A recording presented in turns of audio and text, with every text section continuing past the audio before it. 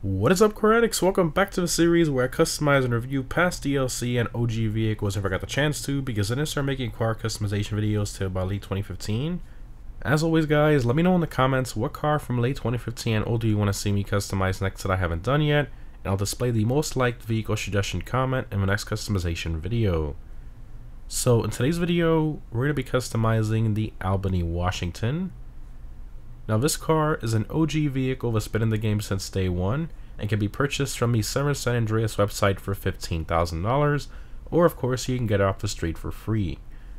Now I do want to mention right out of the gate here guys that this vehicle basically has no visual customization options which is a bit unfortunate but honestly it kind of makes sense considering it's a pretty average looking OG sedan. Now the Washington name was first introduced in GTA Vice City and was also featured in San Andreas, Vice City Stories, and GTA 4 as well, which is almost identical to the one we have in GTA 5. Now in terms of performance, the Washington is in the sedans class, and it's around mid-pack in that class, being around the pace of the Stanier and the Warner, which is to be expected and honestly not too bad. But anyways, in terms of what the Washington is based on, is primarily based on the third gen Lincoln Town Car Executive, which was basically a luxury version of the Crown Vic. Plus, it also has some styling cues from the 8th gen Cadillac DeVille as well.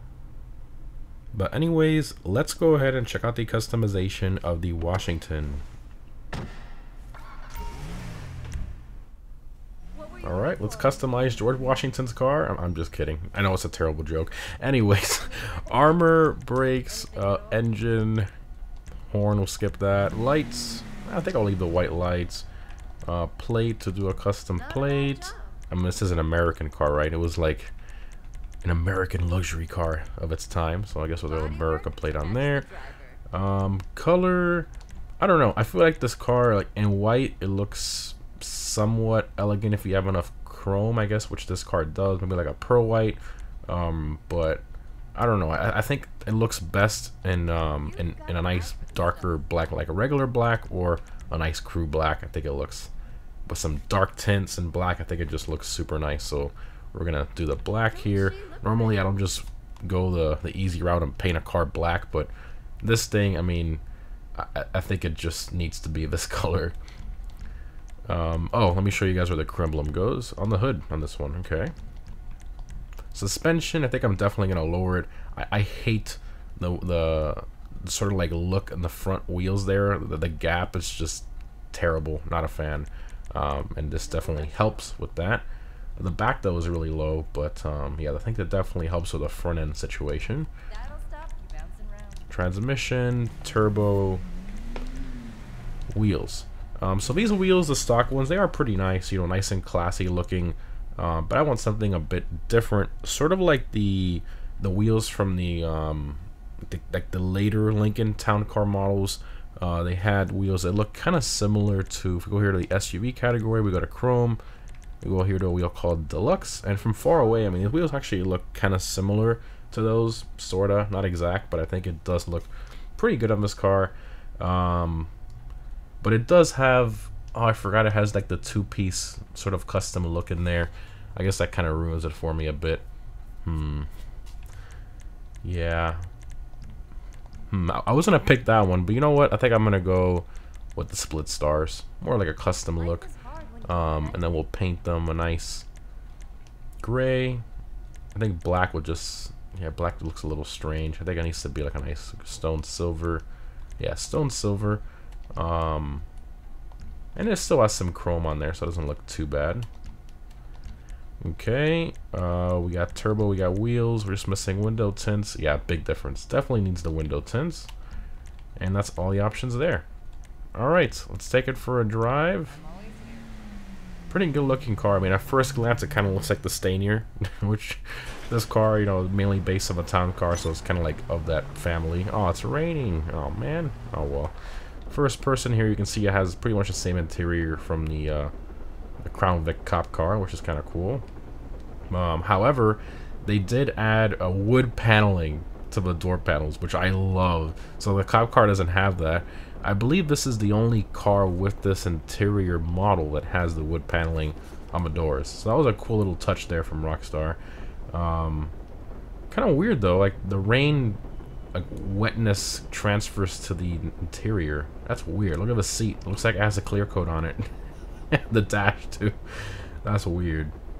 Huh. Anyways, uh, floored here. Sound is like... It sounds like... Kind of like the normal sedans. Like the Uber sedans or an Oracle or something? No. I don't know, it just sounds like a generic sedan exhaust note. A Phoenix and a Ruiner. Two good cars. I already customized those though. It's decently quick. First person here.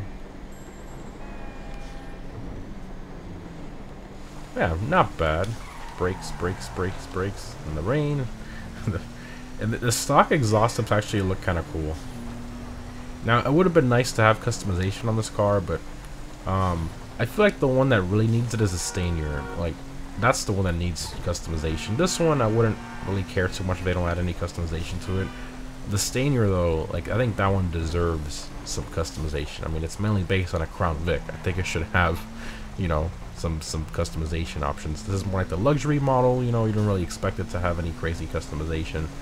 Um, and the speed, I mean, it's a cruiser, and it, it drives very boat-like, even though it is raining, but um, it's kind of similar to the Stanier in terms of performance, as you would expect. Yeah, very smooth. Soaks up the bump, the bumps pretty nicely. Oh my god. Oh no. Ah, I thought I had it. I thought I had it. I hate the rain so much. Alright. Let's pull over and open all the doors here. I don't know why we're at a church, but we'll pull up and open all the doors here. Vehicle doors. That's because we almost died there, that's why. Alright, vehicle doors. Engine model.